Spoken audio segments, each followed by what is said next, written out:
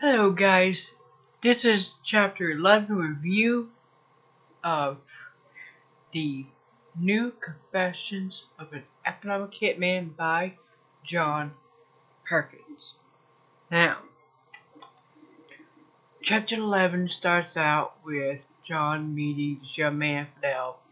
He's a descendant of Simon Bolivar who helped Panama get their independence.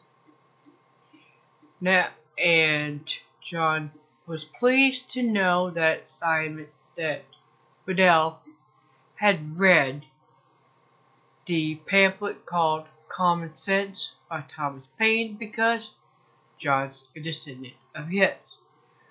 And Fidel was thrilled that John could speak Spanish. Now, Fidel showed John around Panama, the capital, where the um Panama Canal is. They ran into a variety of people. John got a good good idea of the attitudes of the people who are from Panama.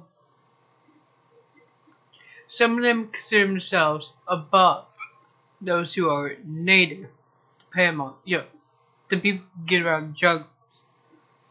And as usual, there's people, a population who picked up on the America. I'm better than you bullshit attitude.